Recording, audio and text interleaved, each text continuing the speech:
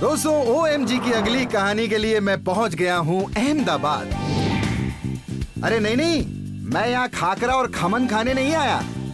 मैं मिलने आया हूँ एक ओएमजी कलाकार दीपक भट्ट से। लेकिन ये सेटअप कलाकार वाला तो नहीं लग रहा। ये क्या इंस्ट्रूमेंट्स रखे हैं सर जी? इन्हें देखकर लग रहा है ये कोई ऑपरेशन करने वाले हैं। अरे, ये क्या? इन्होंने तो सुपारी उठा ली। अरे सर आप पान बनाने वाले कलाकार तो नहीं? अरे नहीं नहीं। ये तो सुपारी पे कलाकारी दिखा रहे हैं। ओ एम जी भाई, एक इंच की छोटी सी सुपारी पर इतनी बारीकी से कलाकारी आप कैसे कर सकते हैं? क्या परफेक्शन के साथ हाथ चल रहा है सर आपका? प्रिसीजन तो माइंड ब्लोइंग है। और हो भी क्यों ना? ये है हमारे बीटल नट आर्टिस्ट दीपक जी, आप कलाकार नहीं, आप तो महाकलाकार हैं। जरा बताइए ये सुपारी की कलाकारी की शुरुआत कैसे हुई? बचपन में मैं एक बार मंदिर में पेंटिंग करने गया था तो वहाँ एक थाली में पूजा की थाली में मैंने सुपारी देखी। तो वो सुपारी उठा के मैंने उसमें चप्पू से गणेश भगवान की मूर्ति बनाई। तब से मैं एक गणेश भगवान की मूर्तियाँ बनाता रहा सुपारी में। इसे कहते हैं कलाकार की नज़र। सुपारी जिसे लोग पान के साथ चबा देते हैं दीपक जी ने उसी सुपारी पे अपनी कला का जादू बिखेर दिया। अगर आपको ये ओएमजी लगा तो दिल थाम के बैठिए, क्योंकि अब जो आप देखने वाले हैं, उससे आपके होश ना उड़े तो मेरा नाम ओएमजी रख देना।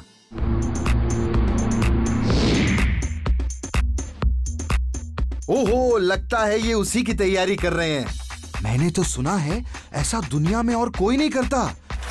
दीपक जी, जल्दी से करके दिखाइए।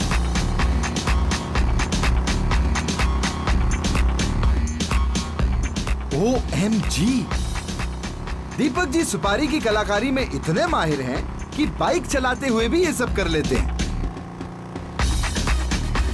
भाई ऐसी कलाकारी दिखाने में रिस्क तो बहुत है।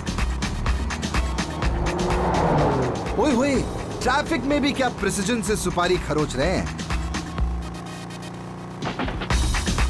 पचास की स्पीड, एक हाथ में सुपारी, दूसरे हाथ में चाकू, फिर भी बाइक कंट्रोल में।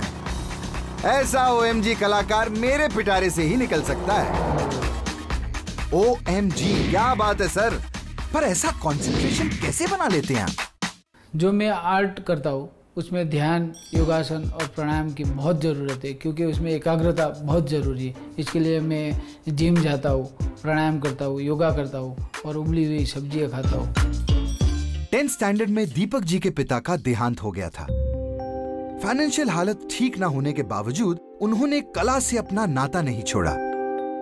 और मुश्किलों से उभरने के लिए कला और सूझबूझ दोनों का बखूबी इस्तेमाल किया। जब मैं मोरबी में मूर्तियाँ बेचने के लिए गया था तो मेरे पास एक वो जो पर्स था, वो गुम हो गया था। तो मेरे पास पैसा नहीं था। तो मैं पान के गले पे जाके मैंने बोला कि मेरे को चार पाँच सुपारी दोगे तो मैं आपको गणेश भगवान की मूर्ति कार्विंग करके दूँगा।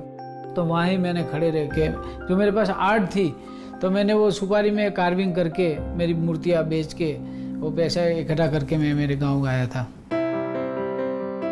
क्या बात है दीपक जी? आप कलाकार तो बचपन से थे ही। व्यापार भी बहुत अच्छे से जानते थे। मैं तीन बार फेल हुआ आठवीं कक्षा में लेकिन मेरा सपना था वो मैं हासिल करने में फेल नहीं हुआ। अरे फेल नहीं! दीपक जी, आप ज़िंदगी के इम्तिहान में पास हुए हैं और ऐसे कलाकार बन के उभरे हैं जिन्हें दूसरे कलाकारों और बड़ी हस्तियों ने अप्रिशिएट किया। तभी तो जिस सुपारी की कलाकारी के किसी जमाने में इन्हें पचास से सौ रुपए मिलते थे, आज पच्चीस हज़ार तक मिल जाते हैं। एक ऐसे सेल्फ टॉट आर्टिस्ट जिन्होंने अपनी कला को ही अपना जीवन बना लिया। तीस सालों की कड़ी मेहनत क्रिएटिविटी और अपनी आर्ट के लिए डेडिकेशन की वजह से दीपक है हमारे ओ एम जी हीरो